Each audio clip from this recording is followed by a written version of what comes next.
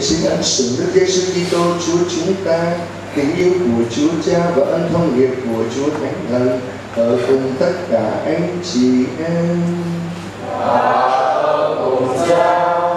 Xin chào tất cả các anh chị em với tại giờ vỗ tay chúc mừng nhau. Hôm nay tự dậy thấy bất tin tốt, không sao có cô gái à, hân chào chồng nhau và chúc mừng chị em có những giờ phút ở đây thật tốt đẹp mà là những ích lợi về thể xác cũng như về tinh thần. Chắc chắn đó trạng cái thân, nó lên một cái gì đó liên kết với nhau, sống cho nhau, sống với nhau và sống với nhau. Thế nên thực sự, khi hỏi đến cái mục đích, cái minh trị của trại này là thế nào, thì đó là chia sẻ với nhau hạnh phúc gia đình tuyệt vời thế nên hôm nay có cái lời Chúa, cái lời chúng ta mỗi người hãy xin hoạt kết cái đời sống của mình để hoa thẻ ấy mang lại vinh danh Thiên Chúa. Có ích lợi cho nhau. Các cầu nguyện chúng người đã luôn biết sống theo lời Chúa dạy. Chúng xứng đáng là con của Chúa, là anh chị em đời sống hàng ngày. Cũng như hôm nay có những người xin lễ để cầu xin tạ ơn Chúa, cầu bình an cho nhau. Của cho gia đình cầu nguyện cho công việc làm ăn và công việc học hành của các bạn trẻ chúng ta được tốt đẹp. Để đây xin Chúa thương tha thứ một nữa là để xứng đáng dâng thánh lễ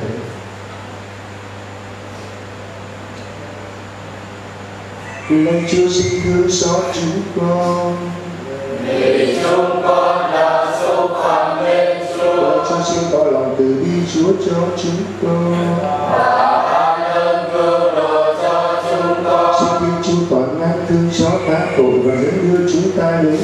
đến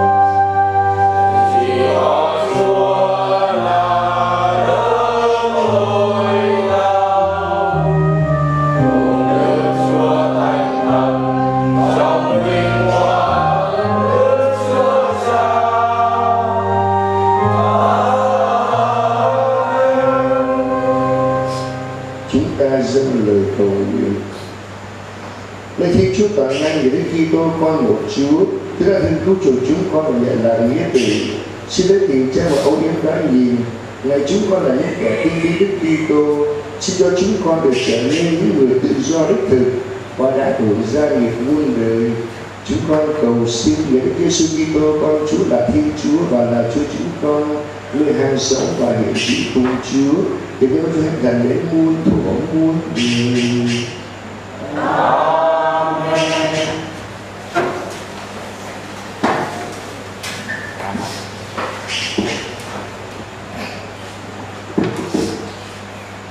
Bài đọc 1 Bài viết sách Công vụ công đồ Hồi ấy, khi tới Jerusalem, ông Saulo tìm cách nhập đoàn với các môn đệ. Nhưng mọi người vẫn còn sợ ông, vì họ không tin ông là một môn đệ. Ông Barnabas liền đứng ra bảo lãnh đưa ông Saulo đến gặp các tông đồ và tường thuật cho các ông nghe chuyện. Ông ấy được thấy Chúa hiện ra trên đường và phán dạy làm sao cũng như việc ông ấy đã mạnh dạn trao giảng nhân danh Đức Giêsu tại Đa-mát thế nào. Từ đó, ông Saulo cùng với các tông đồ đi lại hoạt động tại Jerusalem. Ông mạnh dạn rao giảng nhân danh Chúa. Ông thường đàm đạo và tranh luận với những người thuộc Do Thái theo văn hóa Hy Lạp. Nhưng họ tìm cách giết ông.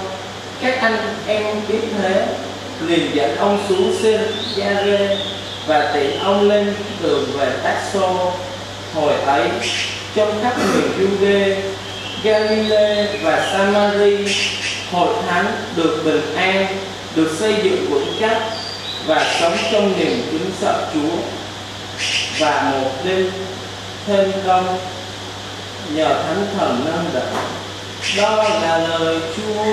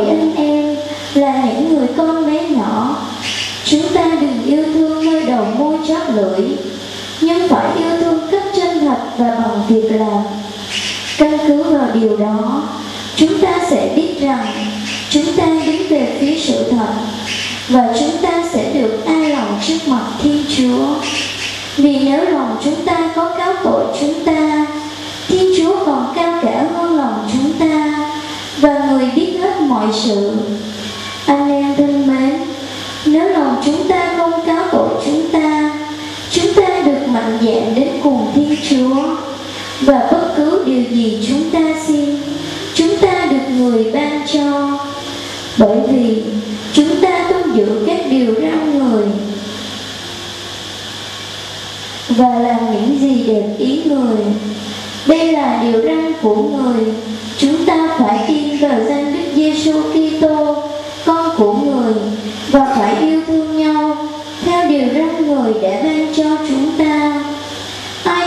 tuân các điều răn của Thiên Chúa thì ở lại trong Thiên Chúa và Thiên Chúa ở lại trong người ấy.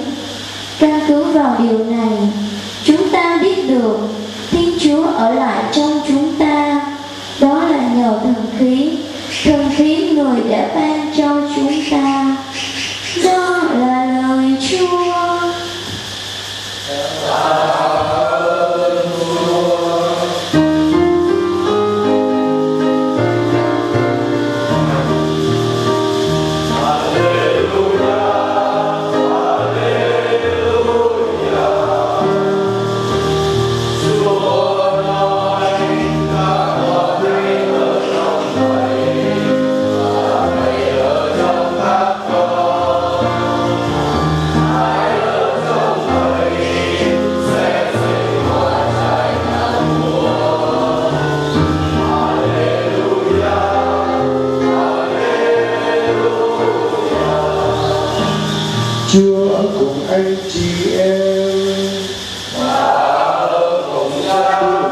Đức Kitô theo Thánh Gioan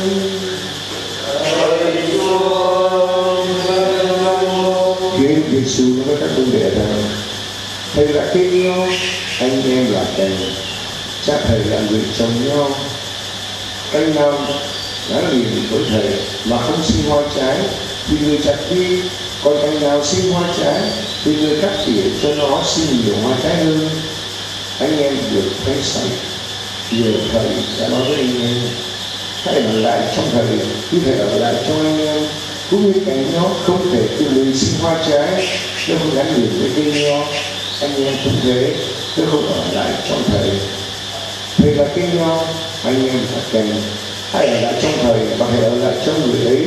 Thì nếu sinh liền hoa trái vì không có thầy, anh em chẳng làm gì được. Ai không ở lại trong thầy thì bị quăng ra ngoài như cái như thì nó đã khô. Người ta sẽ nhặt lấy, quăng vào lò để cho nó cháy đi. Thế anh em ở lại trong thầy và thầy ở lại cho anh em. Đi muốn gì, anh em cứ xin. Anh em sẽ được như ý.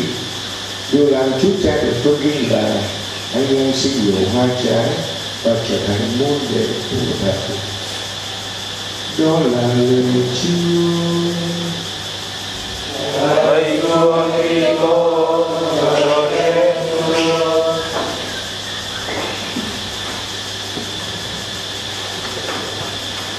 chúng bạn sẽ thế. Nhìn thoáng vào đây thấy có như thành văn. Con chỉ lớn tuổi. Có những cái gia đình rồi. Những người đang đã yêu. Những người còn nhỏ chút biết yêu đây thực sự là cũng có nhiều điều để chia sẻ với các và chủ yếu hôm nay lời cuối cùng của chúng con nói điều làm chắc hay hài lòng. Đó là anh em xin hiểu hoa trái và trở thành môn đề của thầy. Tất cả điều ấy nó có gọi là ý nghĩa của thầy tôi muốn chia sẻ với anh chị em. Thứ nhất, thầy Phaolô, một người Pharisee nhập hành xin phép những người lãnh đạo do thái đi tiêu diệt những người dám xưng mình là Kitô hữu dám tin xin Giêsu Kitô chết và sống lại. Dễ đánh đòn giam tù. Thế nhưng, Chúa loại và biết ông thành một con người tốt. Tự nhiên, được nộp xuống loại Chúa biến đổi, họ luôn hoàn toàn thay đổi đời sống của mình để được sinh hóa kết quả cho đời sống của ngài. Là một tông đồ nhiệt thành là lương cột của giáo hội cùng thánh Phaolô. Hai vị. Vậy Phaolô đã sinh hoa trái từ những sai trái của mình, từ những yếu đuối, từ những sai ngại của mình. Nhưng quyết tâm vực dậy. Và nghĩ đến Giêsu Kitô, sống như Giêsu và xin nhiều hoa trái và điều tốt đẹp của anh. Và thứ hai thánh cha công đồ nhắc anh ta. Anh em hãy yêu thương nhau, thật tình. Không phải chỉ đồ muốn cho lưỡi mà là bằng sống hành động của chúng ta. Hành động ấy là hành động yêu thương hành động ấy là hành động tin vào thiên chúa với cái ăn của ngài vâng không gì hơn. Và điều thứ ba thì mình rất rõ, thì là cây nho anh em là cây. Cây lập hợp với cây thì sinh nhiều hoa trái. Và thật nếu chúng ta, một người trẻ lớn lên mà không có tương lai, không nghĩ đến hạnh phúc, mai sau, không nghĩ đến một cái gì đó gọi là cái viễn tượng tốt đẹp, thì chán lắm nhưng muốn là như vậy thì rõ ràng chúng ta không thể một mình mình mò mẫm trong đêm được. Ta không biết đường lối mà đi, ta không biết thế nào mà tới đích của người được được. Có thể có người hướng dẫn, người này hướng dẫn, người kia hướng dẫn. Tốt lắm. Nhưng mà người hướng dẫn tuyệt đối tuyệt vời nhất là Giêsu hướng dẫn chúng ta để chúng ta thực sự đến với hạnh phúc như đời. Từ đó anh chị thấy nội dung hôm nay của chúng ta hãy suy nghĩ Giêsu là cây à Giêsu là cây chúng ta là cây vào mùa xuân thì để ý cây bắt đầu là cây đủ nhánh nó lá sưng sưa lên và bắt đầu chỗ bông. Vào mùa thu, bắt đầu kết trái nhiều, cái nho cũng vậy. Thế nên cây nho là quan trọng. Tất cả những họ cành hoa lá, mọi hoa trái đều được nuôi dưỡng bởi cây nho và cây là quan trọng nhất đã duy dinh dưỡng tất cả mọi sự cái điều cái điều dụ nhỏ có thể yếu đuối, cái nó có thể là không có tốt. Nhưng mà cây thì luôn luôn chắc chắn là luôn luôn nuôi dưỡng cách cả nên chúng ta nhớ chủ đề là quan trọng như tại đầu để liên kết với chúng ta với nhau trong đời sống. Thế nên khi Chúa Giêsu với chúng ta cành nào khô héo khô sẽ bị vất đi. Thế nên tôi muốn trở lại ý thứ hai là ý tưởng hạnh phúc gia đình các bạn chia sẻ với nhau. Uhm, hay không hạnh gia đình thì nó không phải là khi mình nói về chú là mẹ cũng thực tế sống đi. Bây giờ tôi chia sẻ một xíu thôi nha các bạn cũng mệt mỏi rồi. Cũng hết rồi đó nói dài cũng hết. Ok không nói nhiều nữa. Đây. Bốn điều nên biết mỗi điều nên biết để giúp cho hạnh phúc gia đình. Không phải là hạnh phúc đứa đôi không đâu mà trong gia đình mình là hạnh phúc thứ nhất. Biết nhớ biết nhớ nhớ gì? Nhớ sinh nhật của nhau nhớ buồn bạn của nhau của ba của mẹ của anh chị em một món quà một bữa tiệc nhỏ nhỏ. Chị ha à, à, nhớ ngày đó một bông hoa ví dụ vậy tặng lên người sinh nhật, tặng cho một cái mà rất đẹp. Nhớ những kỷ niệm đi chơi với nhau. Thì các bạn này ha rất thân với nhau. Cái ngày này rất quý giờ phút là quý lắm nhớ giây phút mình ở bên cha mình qua đêm. Nó lạnh lẽo, gió hiu cắt tối om, nhiều khi gió sao hết. Vẫn nhớ. Cứ để nhớ những chuyện rất là hay. Với đời sống có nhiều chuyện hay phải nhớ nhớ nhớ nhớ nhớ.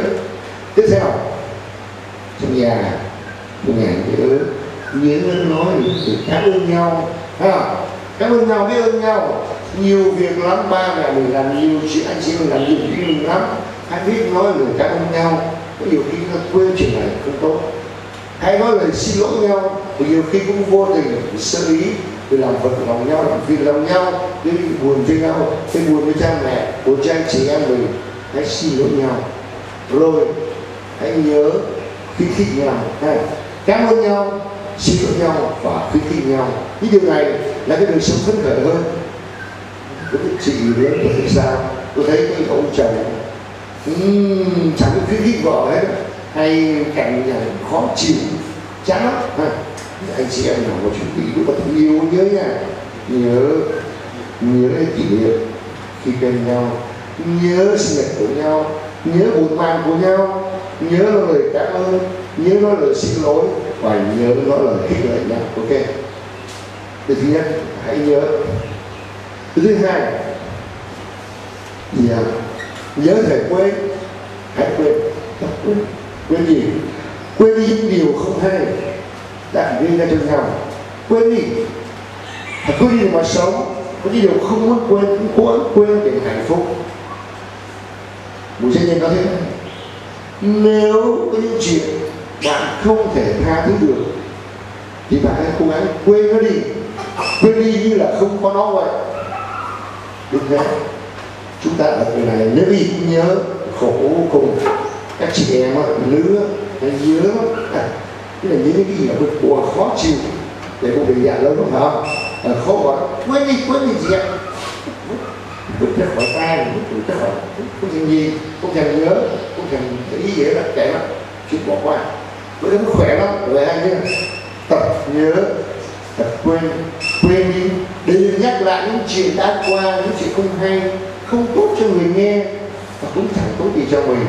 Và mà cái chuyện không hay, cái nghe này là cái gì? Không tốt cho người ta tốt cho người nghe, và cũng chẳng tốt gì cho mình. Quên đi, để sự thành ra cho ra. Ok? Tập nhớ, tập quên hai điều thứ ba. Tập dừng lại hãy giữ gìn lại ha này nóng tiếng nó này ha nóng tiếng vào đừng nóng tiếng khi lại bắt đầu khó chịu rồi. Dừng lại tập nghe thử coi. Chuyện nào thế nào? Chuyện nó tới đâu? Hãy suy nghĩ coi chín chắn. Đừng vội vàng nóng giận. Đừng vội vàng chế cố, đừng vội vàng hành động. Hãy tập dừng lại dừng lại dừng lại dừng lại. Vì khi chúng ta những con trai á cái đỉnh nóng lại lắm. Ha dễ dàng đục nó lắm bây giờ là xã hội này mà đụng sáng dễ sợ nhanh lắm. Không quan trọng tâm riêng lại để biết rằng đâu là chuyện quan trọng để mà sử hạnh phúc cho nhau.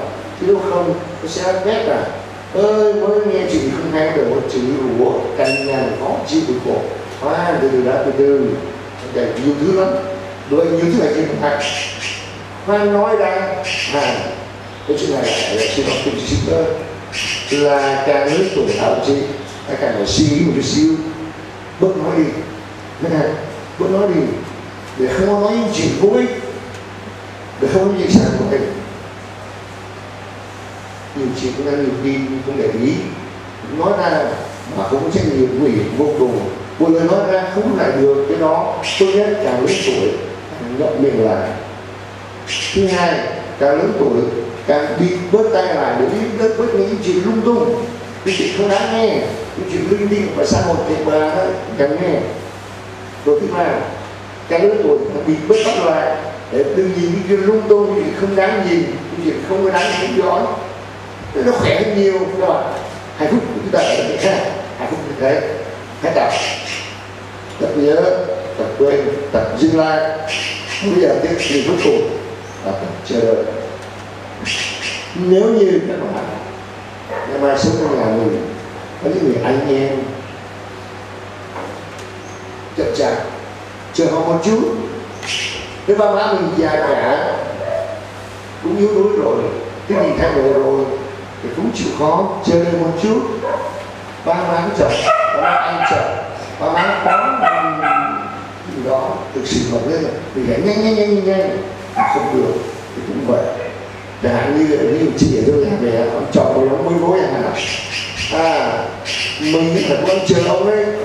Dính ăn lúc cơm xong rồi kêu ăn cơm. Thôi má con phải ăn đi. Cho cái bé thật chờ khổ lắm.